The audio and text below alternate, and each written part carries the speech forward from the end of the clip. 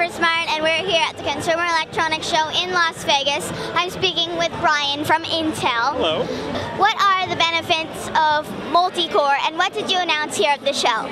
We announced 16 different products yesterday, um, all based on our new 45 nanometer technology, which has multiple cores, both dual core and quad core products, which means you have the brains of either two or four processors inside of a desktop or uh, a, no a, notebook computer. And the benefits of, of having multiple cores are you can do more things at one time. So you can be playing a game while you're downloading a movie in the background, or you could be um, uh, you could be listening to music while you're also streaming video. Uh, so more more cores equal more brains equal more things that you can do.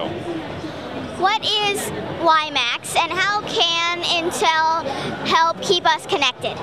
so WiMAX is a new uh, emerging wireless standard and uh, we're actually partnering with uh, Sprint, the, the, the, company Sprint. Uh, Xohm is, is, the, is the name of the product and it's Xohm from WiMAX. WiMAX is a new wireless uh, technology. The, the, new Intel products, uh, both laptops and small form factor mobile internet devices will take advantage of WiMAX to give you greater connectivity so you're not just in, uh, in a hotspot like in a coffee shop now. You can actually be uh, around the city or on a train uh, in a, in, a, much broader area getting wireless connectivity, getting things from the internet, having real-time connection.